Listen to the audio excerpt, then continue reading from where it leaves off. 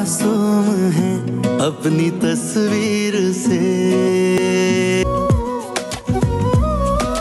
मुसीबत पड़ गई थी जो एक लम्हा जाया किए बगैर कह दिया कि लड़की अच्छी है।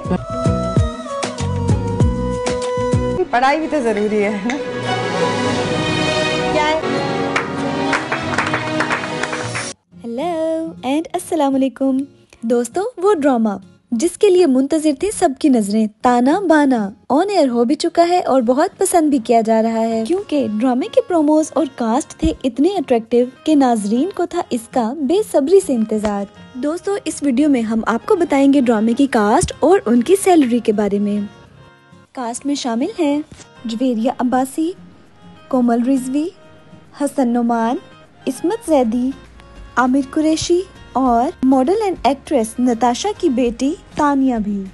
And of course the leading cast Danial Zafar and Alizeh Shah दोस्तों अलीजे शाह जिनके क्रेडिट पे हैं कई कामयाब ड्रामा सीरियल्स जैसे मेरा दिल, मेरा दुश्मन और Ahad Wafa.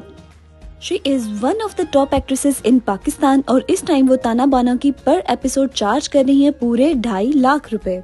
दूसरी तरफ़ दानियाल ज़फ़र, जो के हैं अली ज़फ़र के भाई और काफ़ी अरसे से कोक स्टूडियो में चला रही हैं अपनी आवाज़ का जादू और वेब सीरीज़ बारवा खिलाड़ी में माहिरा खान के साथ भी परफॉर्म कर चुके हैं दानियाल इस ड्रामे की पर एपिसोड के लिए चार्ज कर रहे हैं पूरे दो लाख रुपए अलीजे और दानियाल का कपल किया जा रहा है काफ़ी पसंद और इनकी बिहाइंड द सीन वीडियोस भी काफ़ी वायरल हो रही हैं।